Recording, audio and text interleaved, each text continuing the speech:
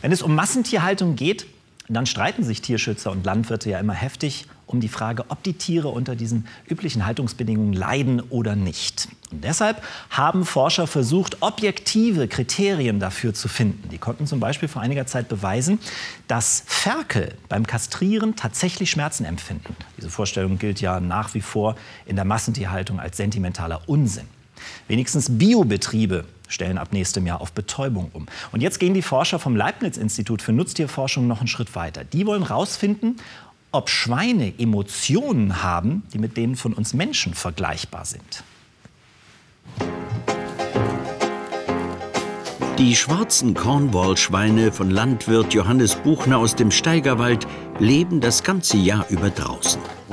Hier können sie tun und lassen, was sie wollen ich sehe, dass sie glücklich sind. Also ich merke das richtig, dass die froh sind, die kommen runtergestürmt und fühlen sich sauwohl. Die kommen einfach her, ohne dass sie Angst haben und sind neugierig. Die Neugierde ist, denke ich, auch ein Zeichen von, von Glücklichsein, ja.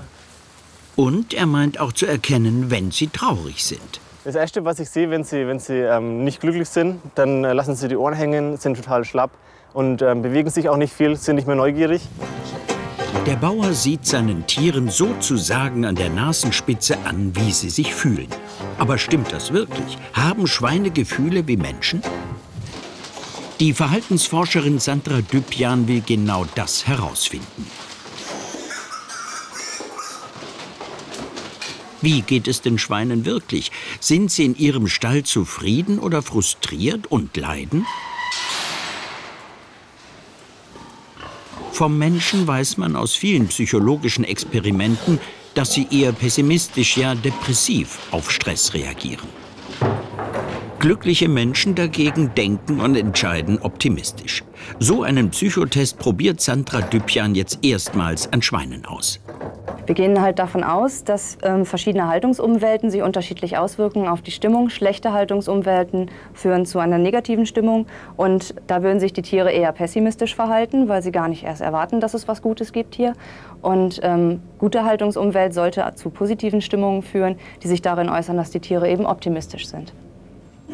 Für den Test werden die Tiere zunächst eine Woche lang trainiert. Sie lernen, Immer wenn die Futterbox links steht, kommen sie nicht an das Futter heran. So wie jetzt. Das Schwein weiß das und geht erst nach langem Zögern sicherheitshalber doch mal hin. Aber es war ja klar, zu.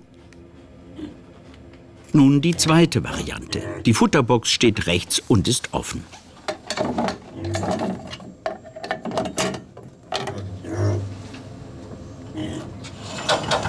Ohne langes Zögern geht das Schwein zur rechten Futterbox und frisst.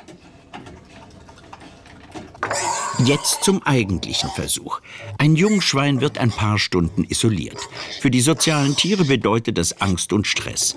Um zu testen, wie sich dieser Stress auf das Verhalten auswirkt, stellen die Forscher die Futterbox jetzt auf eine uneindeutige Position, nämlich in die Mitte. Wie wird das Schwein reagieren? Geht es nicht direkt zum Futtertrog, schließen die Forscher daraus, dass es erwartet, der Futterkasten sei zu. Der Stress ließe das Schwein pessimistisch reagieren. Und tatsächlich, das gestresste Schwein schaut nicht nach. Ein Pessimist. Zum Vergleich rechts ein nicht gestresstes Schwein. Neugierig schaut es sofort nach, verhält sich der These nach also optimistisch. Erst viel später geht auch das vorher gestresste Schwein zum Kasten und sieht mal nach.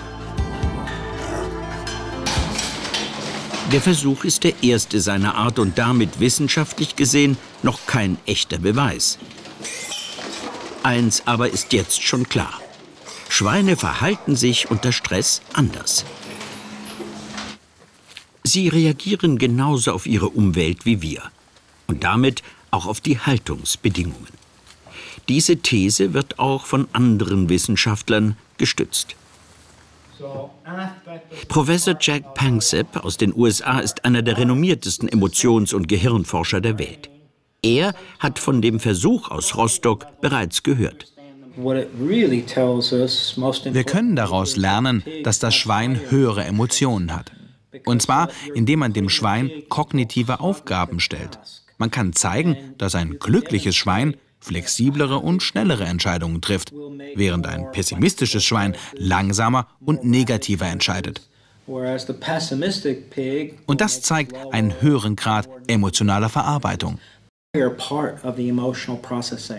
Emotionen finden in den tiefliegenden Hirnregionen statt. Diese sind bei allen Säugetieren gleich aufgebaut. Wir haben Schaltkreise tief in unserem Hirn, die mindestens sieben grundlegende emotionale Verhaltensmuster erzeugen. Neugier und Freude etwa. Das interessanteste emotionale Verhalten bei Schweinen ist das spielerische. Schweine haben alle Basisemotionen, genauso wie wir. Wir wissen, wo diese Prozesse im Hirn stattfinden. Wir wissen schon recht viel über die Chemie, die dabei abläuft. Und wir wissen eben auch, wie sich das Tier dabei fühlt. Für Bauer Johannes Buchner eine Bestätigung. Er weiß, dass sich gute Stimmung in der Rotte auszahlt. Glückliche Schweine haben auch ein robusteres Immunsystem und brauchen daher keine Medikamente. Bei meinen äh, Schweinen, die ich jetzt hier draußen habe, ähm, habe ich bisher keine Impfungen gebraucht und auch keine ähm, antibiotische Vorsichtsmaßnahmen. Und ähm, ich merke auch, dass sie, dass sie sehr gesund sind.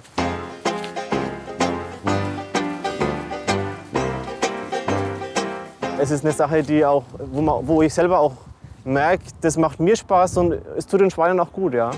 Man kann sich gut vorstellen, wie diese Glücksschweine im Psychotest abschneiden würden. Vermutlich als zufriedene Optimisten. Schweine können zwar ihr Erleben nicht bewusst reflektieren, denn der Teil im Gehirn, der Bewusstseinsvorgänge steuert, ist bei ihnen nicht so weit entwickelt wie bei uns. Aber in Sachen Gefühle gibt es mehr Ähnlichkeiten zwischen Mensch und Schwein, als wir wahrhaben wollen. Wir sind eins.